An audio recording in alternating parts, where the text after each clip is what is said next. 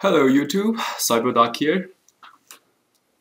Today um, I'm gonna do a repair on uh, this FPC connector for iPad, sorry, iPod Touch 4th generation. So this is the LCD connector. It has 30 pins. Actually, yeah, it has 30 pins for the no, 20, sorry, my bad. I think this is this is 26 pins. Either way. 26 pin LCD connector for iPod Touch 4th generation. Uh, it was sending for repair due to the, as you can see, the connector has some damage. So, as always, I put in some um, high quality, this is the white color, no clean solder paste, and some CyberDoc alloy or we've been calling it quick alloy. And now I am using a soldering iron to desolder the pins with the CyberDoc alloy. So what I'm doing now is really just using the flux and this low temperature melting alloy which melts at um, 58, 57 degrees Celsius. So what I'm doing right now is I'm mixing the low melting alloy with the residual original solder lead-free solder used by Apple, which melts around 25, 27 degrees Celsius. So my iron's a little bit above 300 degrees Celsius. Actually, I think I might have used like maybe 350 or uh, 400 degrees Celsius just to speed things up. So if you want to be safe, you can keep your iron. I, I will use it at, at least 400 I think. But 300 is the safest. So as you can see once you um, melted the the solder the temperature has to be hot, hot enough to melt the solder on board. And the low melting alloy CyberDoc alloy comes out once it's mixed with the residual like the original alloy sorry original solder um, it, the connector comes out very easily and to remove this blob of alloy is very simple. You just heat it up and it will come off like a, a viscous soluble. You can pick it up once it, it cools down. And you can also pick it out piece by piece. You don't want to do it all in one blob. You can, when doing its cooling, it's gonna get uh, crystallized and you can pick it out like little by little. I think I lost my patience with the solder bowl, so um, here I'm using a solder wick to pick out the solder bowl. Um, if you're short on these alloy, um, CyberDoc alloy, again, you can get this from my website down below the description. If you're short on this alloy, you can recycle it. All you have to do is just, you know, take it take it out like such in a little blob and use it for another day for desoldering. After all, it's really just just like regular solder. It's just a metal alloy. It can be reused however many times as long as you can clean the uh, the connector or whatever part that you are mixing it with.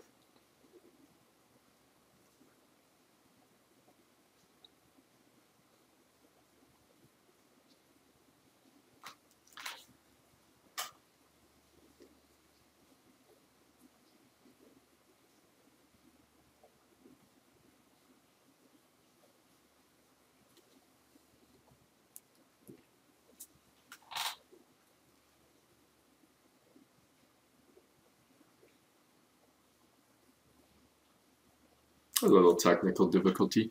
So um, the camera seems to be off angle.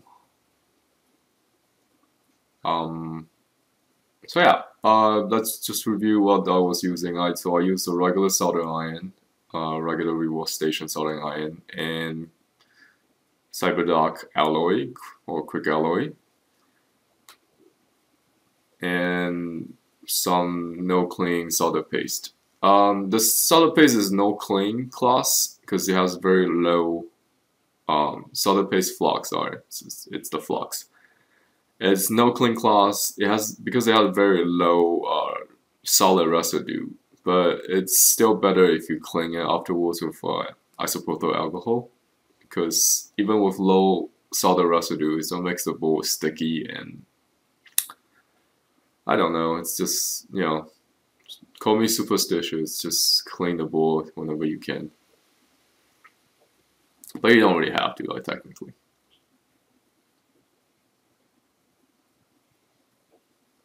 So now I'm just cleaning off. In the video, I'm just cleaning off uh, the pads. Okay, so what I put on here it's uh, low melting solder paste with well no clean flux. Um, so what I'm going to do is I'm gonna tin the connectors with solder paste. You simply put the solder paste on the spot you want to put you know tin the con the solder pads, and then you just heat out the solder. Oh, oh by the way, this uh like I said before, this is the 138 37 degrees Celsius low melting temperature solder paste from CyberDoc.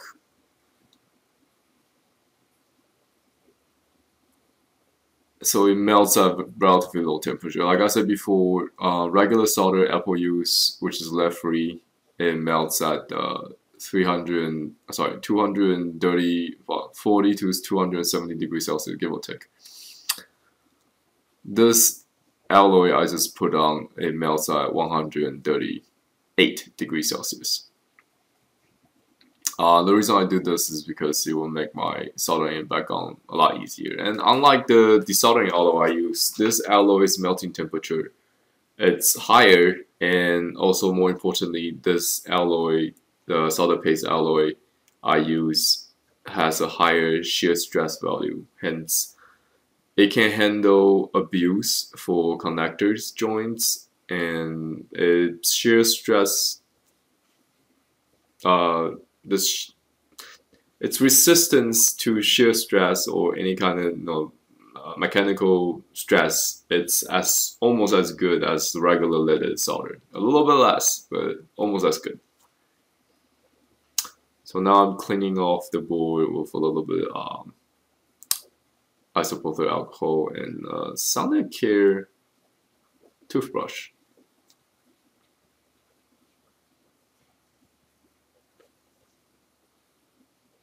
I mean, it's mm, probably easier just to brush it off than using uh, the real Sonicare toothbrush because I every time I use that I make such a mess with just isopropyl alcohol brushing everywhere due to the sonic vibration from the toothbrush.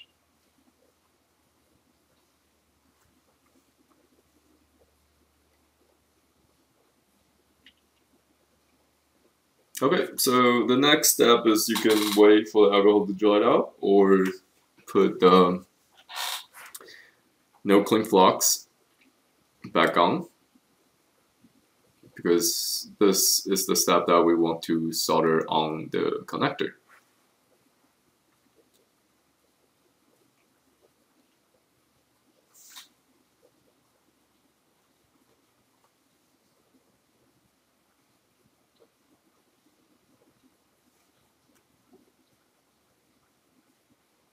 So now I'm putting on the solder paste. I keep calling solder paste, sorry. No clean solder flux. There we go.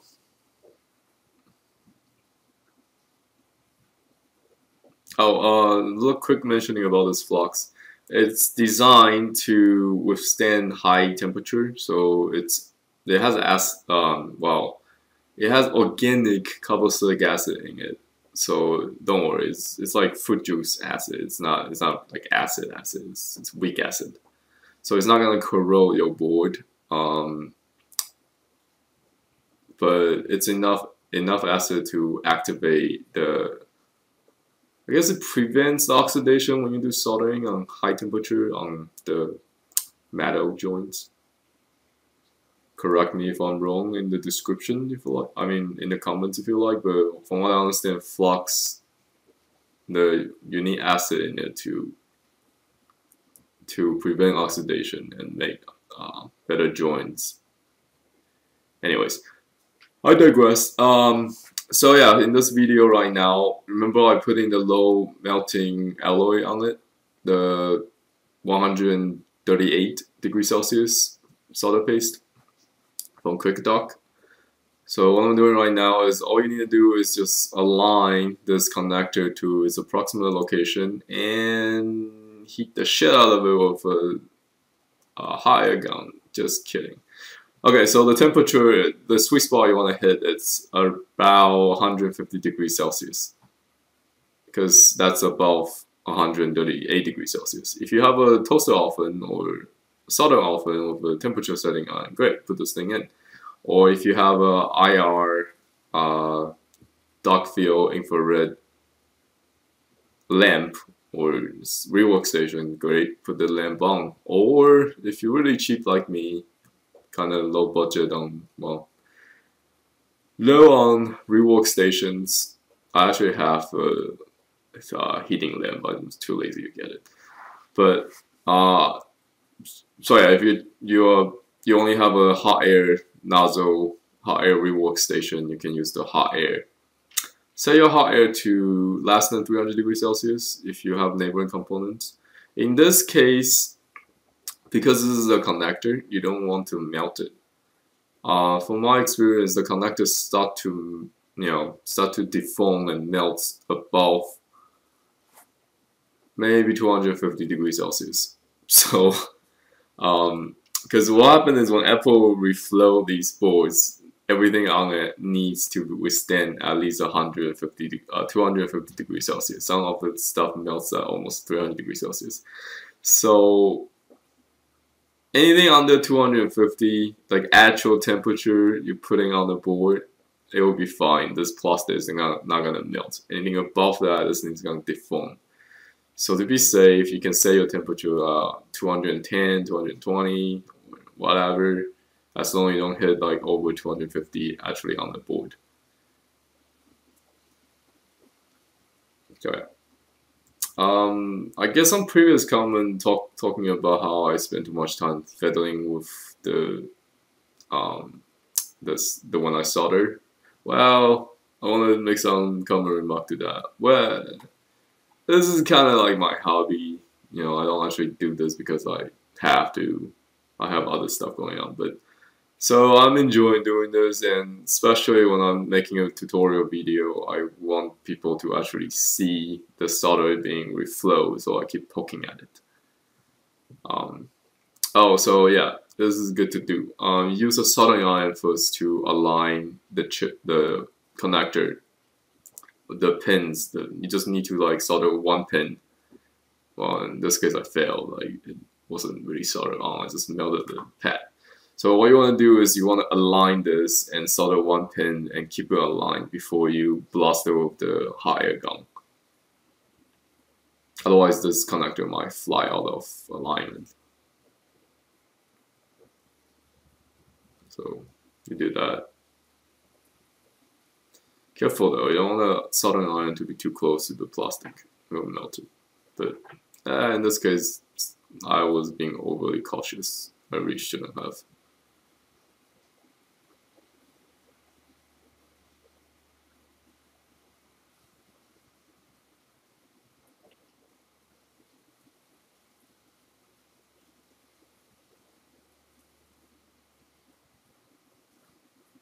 Can you tell I don't do this every day?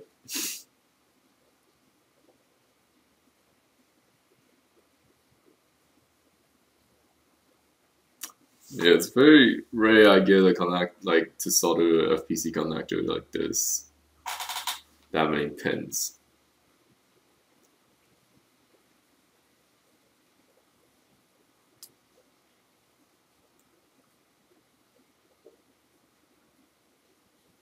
Okay, so as you see, like the first pin is being held in place. You just need to align approximately, and oh yes, hold down the connector. And now you you heat out the board.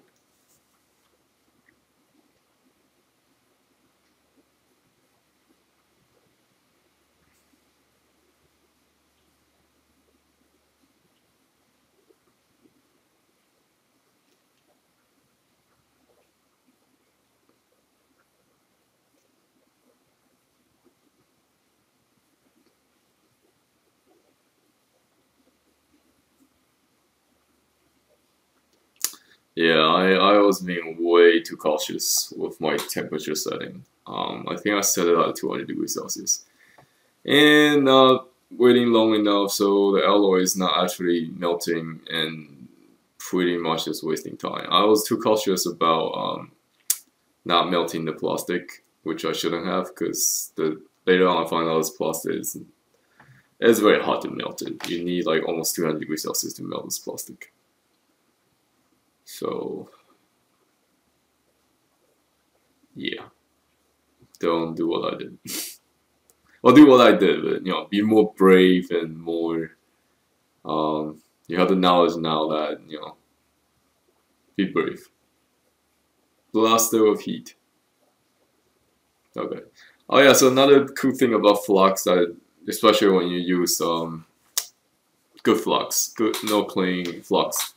That's the that has a vaporization temperature or the boiling temperature around the melting point. So I think this flux has a vaporization temperature of 240 degrees Celsius or around there, 240, 250. Um, it's probably goes to 270. I'm not sure because I didn't make this flux myself. Um, it will protect. It's like it's almost like cooking oil. When you cook something, you want to protect um, the components from overheat, right? You want to keep your food fresh. Well, not fresh, but you know, not overcooked. That's a better word. Not burned. You don't want your component burned. So what this median no clean flux does another thing it does aside from preventing oxidation from the active acid component in it, well, vegetable acid, well, whatever, it's, it's some kind of weak acid, is to, um, sorry, I was talking about flux temperature. So it's to keep the temperature within the range that you want. So as you vaporizing the flux, it's gonna stay at uh, 240, 270 degree, give or take temperature. So your component will not be damaged. It's like boiling a cup of water. It doesn't matter how much heat you put in, how much fire, how many hours you boil in the water, the water is gonna stay around 100 degrees Celsius. So yeah, after you secure the connector with hot air, um, in my case, you know, I'm paranoid, so after the hot air, you if you have a fine solder tube soldering iron you can poke at it one by one just to make sure every single connection is secure and it has solder melted from the solder pad to the connector. Um, it's a little bit tedious work but just be careful don't make solder bridges um, if you do make solder bridges, if you have, and you just need a really fine tip soldering iron, you can easily break apart by putting the soldering iron in between and draw the uh, the solder from going outside. But as long as you don't, you didn't solve too much solder, it's not likely for you to form solder bridges. Another way to do this is heat up the alloy and use a needle, like a, literally a needle it's, this pitch is very small. I think this pitch is like 0.3 millimeter distance apart. So a needle, once as long the the solder is molten, you can use a needle to drag in between to break the solder bridge. Well, you gotta be very careful. You know, poke at it with a really fine soldering iron, one by one.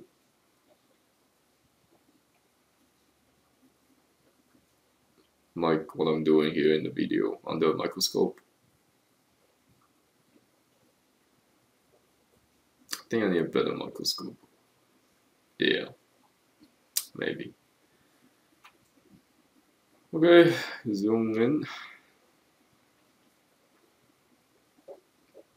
Then miss a pin there, so just double check.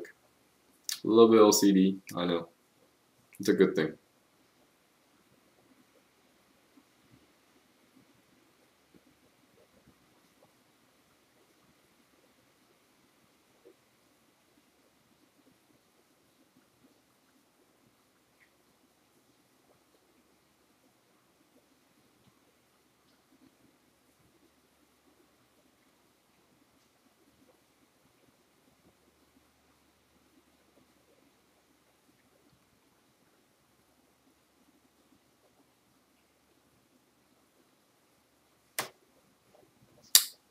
Okay, definitely OCD.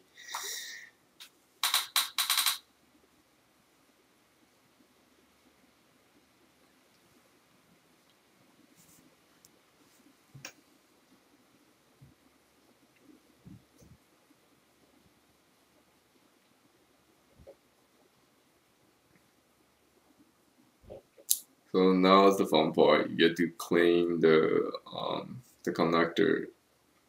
Well, use isopropyl alcohol and clean off the flux. And there's some flux. The yellow stuff is the flux that got burned. So just clean that gunk off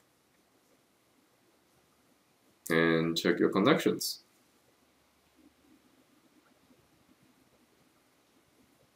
I'm wiping it with like a tissue paper or cotton swab.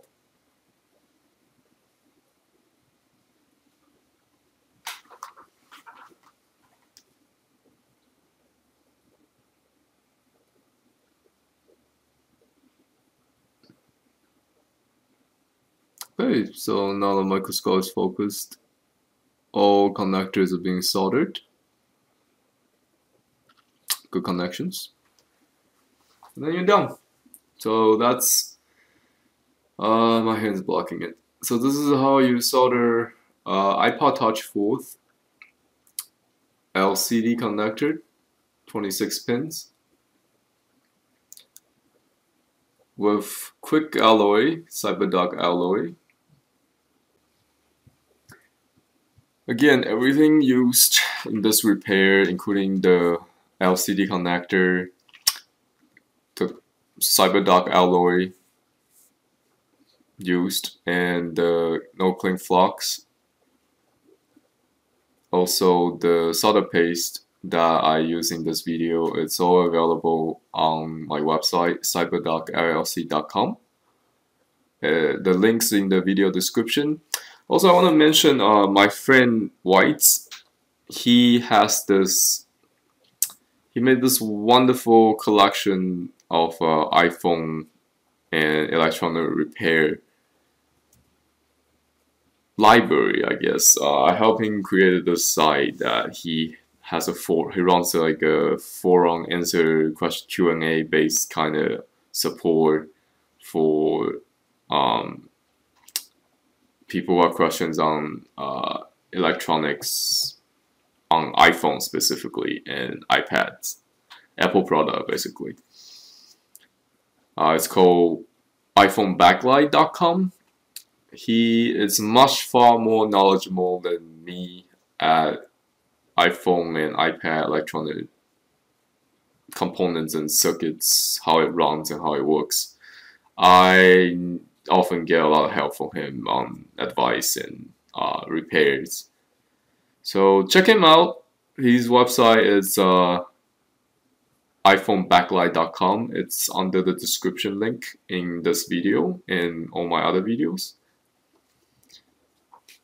It's a paid membership website, so yeah, check him out. It, his name's White. And thank you for watching. I'll see you next time.